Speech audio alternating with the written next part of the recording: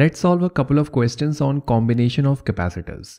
For the first one, we have four 5 microfarads capacitors which are combined as shown below. What is the equivalent capacitance of this combination? We need to report the answer in microfarads. As always, hit pause and try this question on your own first. Alright, hopefully you have given this a shot. Now before we get into figuring out the equivalent capacitance, first let's try and label, let's label all the nodes and all the capacitors. So we can call this C1, this is C2, C3 and C4. And we can label all the nodes as well. We can call this A, this is, let's say this is B, this is C, D and we can call this node as well. We can say this is E Okay, now our strategy would be to identify sets of capacitors which are in series or parallel because we know how to calculate the equivalent capacitance of those capacitors which are in series and parallel. So first let's try and understand the potential difference across C1. Let's see what is the potential difference across all of these capacitors so that we know if they are in parallel. Now across C1 the potential difference across C1 that would be so let's let's write C1 here Across C1, the potential difference is VAB. This is VAB. Across C2, across C2, this would be VBC. VBC. But now if we look closely, if we if we look at the terminals, so we have the terminals XY, potential at E will be the same as the potential at A because there is no there is no circuit element in between so there is no potential drop between A and E. Similarly potential at E should be the same at potential at C. Again, there is no circuit element in between, so there should be no potential drop, which means we can write this if VA, if VA is equal to VE, and if VC is also equal to VE, then we can write that VA is really equal to VC. And if this is true, then VAB is really equal to VBC because we can write we can write either as in terms of the other we can write VBC as in place of C we can write A Uh, and these two become equal. So turns out the potential difference across C1 and C2 is the same, which means that they are connected in parallel. Now let's look at the potential difference across C2 and C3.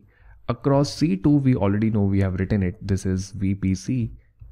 And across C3, it's VCD.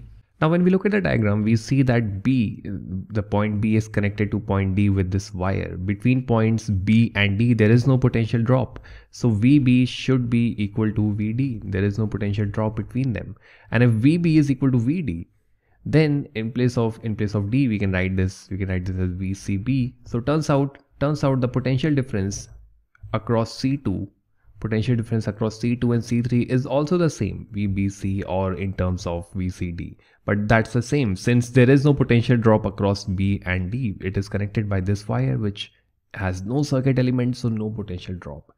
So C1 C2 C3 all of them are really connected in parallel because the potential drop across each one of them is the same. So for C1 C2 and C3 we can find the equivalent capacitance by simply adding by adding them C1 plus C2 plus C3 because if capacitors are connected in parallel, this is how you find the equivalent capacitance. And C4, in place of, now when you find the equivalent capacitance of C1, C2 and C3, we can replace all of that with just one capacitance. And then you have C4 which is connected in series. So the circuit, the circuit looks like this. You have X, Y, these are the terminals and then this is this is the equivalent capacitance of C1, C2 and C3 and then you have C4 which is connected to connected to the equivalent capacitance. This right here, this right here is C4 and this right here is the equivalent capacitance of C1, C2 and C3. So equivalent capacitance of these three should be 15 because one is 5. This is 15 microfarads. And now this equivalent is connected in series with C4. So now we need to figure out the equivalent capacitance of these two. Then the relation for that the relation for that and i'm writing it on the top over here. It is 1 upon c final. I'm writing the final equivalent capacitance. This is equal to 1 upon c equivalent which is this. That is 15 plus 1 upon c4 and that is 5 now we need to work this out. So i would suggest you pause the video and work out this calculation. Here c equivalent is really 15 and c4 is 5 And when you work this out, you should get C, the final equivalent capacitance as 3.3.75 microfarads. Alright, let's look at one more question. Now here we have six 3 microfarads capacitors which are combined as shown below and they are connected across PQ. What is the equivalent capacitance C of this entire combination? Okay, like we did in the previous video, what so we will start off by labeling all the capacitors. So let's call this C1, C2, this is C3, C4 and let's call this C5 and C6. And now let's label all the nodes that we see. So we can call this as A, B, let's call this C and let's call this D. Okay, now again, our approach would be to identify those sets of capacitors which are in series or parallel to each other because we know how to calculate the equivalent capacitance for those sets of capacitors. So let's try and identify them in this combination. Now this is connected across PQ. We can start off by trying to understand the potential difference across each capacitor. So for C1, across C1, the potential difference really is VAB. We can say, we can say that is VAB and across C4 across C4 it is C4 this is VAD VAD okay now the good thing is that the capacitors are of the same same magnitude. It's it's 3 microfarads all throughout. So the amount of potential drop in this branch over here should be the same as the amount of potential drop in in this branch over here and that should that should mean that the potential at B should really be equal to the potential at D because the amount of potential drop in this branch is the same as the amount of potential drop in this branch. So from VA, the potential starts dropping and it drops to the same value, drops by the same value because the two capacitance are the same. So VB is really equal to VD.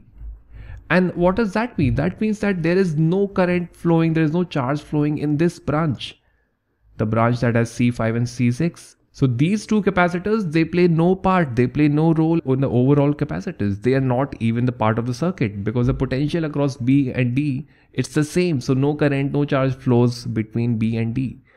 So now the problem just has these four capacitors, C1, C2, C3 and C4. And and with them, let's let's try and draw the new circuit. So the new circuit that would look that would look it would look like this. So we have C1, now we have C2 and these two are connected in parallel with C4 and C3 and then you have them connected to P and Q. So this is C1, this is C2, this is C4 and this is C3. Now these two are connected in series and these two are connected in series and they eh, themselves are connected in parallel with this combination C4 and C3. Now we can figure out the net capacitance. So for, for the top branch, the net capacitance would be we, we need to find the equivalent capacitance for the top branch that would be 1 by 3 plus 1 by 3 similarly for the bottom branch it would be 1 by 3 plus 1 by 3 but this is 1 upon c equivalent.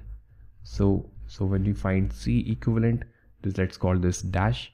This would be 3 by 2 that is 1.5 and similarly c equivalent here that would be 1.5 and you can take your time and work out this calculation and now those two combinations are connected in parallel to each other. So now the circuit now the circuit that we have is we have this we have this capacitance of 1.5 1.5 and they are connected to pq here you have p here you have q. Okay now this is 1.5 and this is 1.5 now they are connected in parallel and with parallel the equivalent capacitance is figured out by adding the capacitors so this is 1.5 plus 1.5 and that would be 3 microfarads. Alright, you can try more questions from this exercise in the lesson and if you're watching on YouTube, do check out the exercise link which is added in the description.